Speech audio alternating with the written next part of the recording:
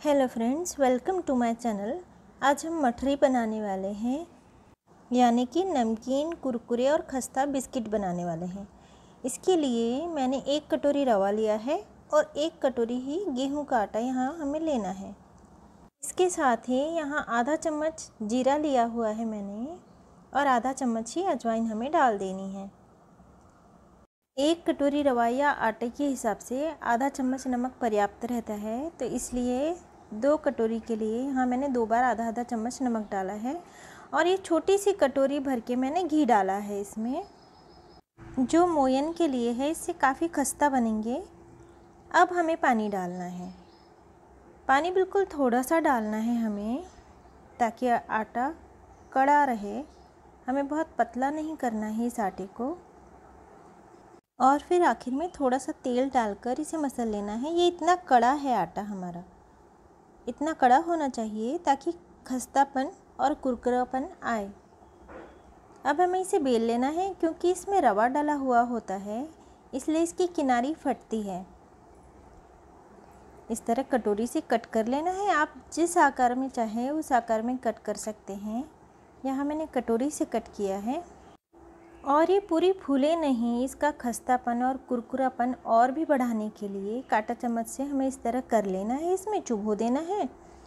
और इससे एक डिज़ाइन भी आ जाती है, जो बहुत ही अच्छी दिखती है। अब हमें सारी पूरियाँ इस तरह से पहले तैयार कर लेनी है। इसके बाद बिल्कुल धीमी आँच पर हमें इसे तलना है।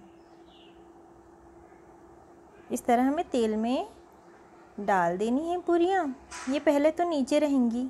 तेल के जैसे ही हम डालते हैं, इसके बाद सारी पूरियाँ थोड़ी ही देर में ऊपर आ जाती हैं। जैसे ही पूरियाँ ऊपर आ गई कि हमें इसे पलटा देना होता है।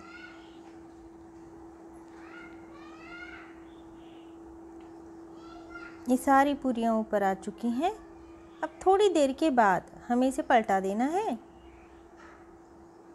सारी पूरियों को एक एक करके धीरे धीरे हमें पलटा देना है। इसे आप तेल या घी किसी में भी तल सकते हैं। और जब तक ये पूरियाँ ऊपर हैं, समझो कच्ची हैं। जैसे ही ये पूरियाँ वापस तले में बैठ जाए, यानी ये पूरियाँ पक चुकी हैं। लेकिन हमें बस इतना ध्यान रखना है कि इसे हमें बिल्कुल ही धीमी आँच पर ही तलना है। ये सारी पूरियाँ नीचे बैठ चुकी हैं, यानी ये पक गई हैं अच्छी तरह से। अब ये दो पूरियाँ हम निकाल लेंगे।